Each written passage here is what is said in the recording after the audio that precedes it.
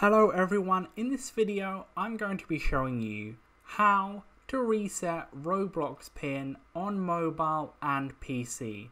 So this will be the same process on whatever device you're using.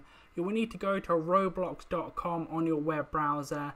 If you're on your mobile devices, it might come up with this saying open in mobile app. Don't do that, click continue in browser. Then you'll need to make sure you are signed into the account you want to reset your pin for. Then click the top right hand corner on any device where you'll see that little cog there. Then you want to click help. Then you will see pop up, it will say Roblox account, I need help with my account. Click there. Then you want to scroll down on this page where you see account settings and I forgot my pin. Click on that.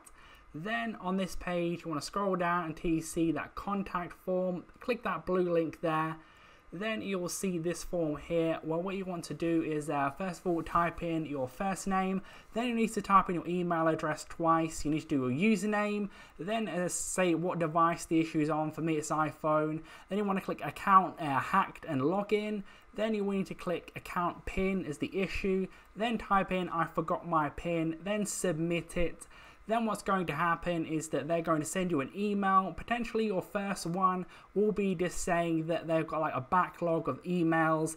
If that's the case, you will have to wait until a real like human emails you. Then they will go ahead and make you click a link uh, then once you've clicked on that link, you'll be able to reset your password there. So that's the process. Potentially you'll get it straight away. If not, you will have to wait, unfortunately. Don't get annoyed at me, uh, get annoyed at Roblox support. I don't control that, that's the situation. So leave a like on the video if that did help you out. Subscribe for more videos like this.